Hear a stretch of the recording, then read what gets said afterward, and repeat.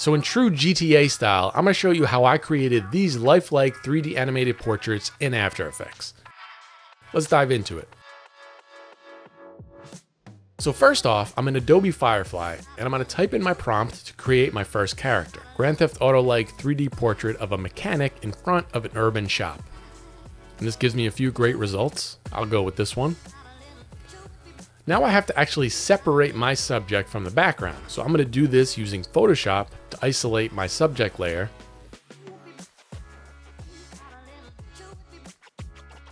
And I'll use generative fill to fill in the background layer so it's a clean background.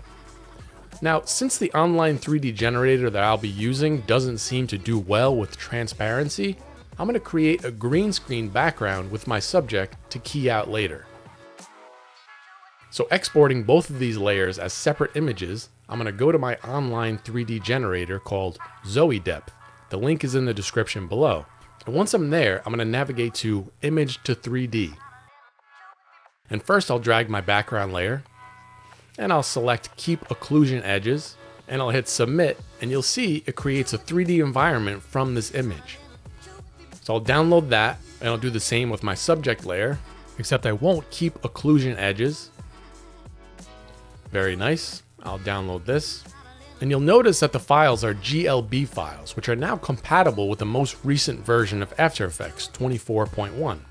As I import my background and drag it into a new comp, a prompt box will pop up asking about the model settings. And in advanced settings, I'm going to select flip Z axis. For now, I'll scale it up in here. And you'll see it's starting to look like something. Now, I'll do the same thing with my subject on green screen layer. I'm going to flip this horizontal, and I'll drag this into a new comp. Now, I need to use my Keylight effect to key out the green. One click and it should be good to go. Now I'll drag my background in, make sure they're both named, and I'll create a new camera. I'll make this 35 millimeters. Okay, once I have my camera set, I'm going to create a keyframe on my point of interest and position on my first frame of my sequence. I'll go to my end frame,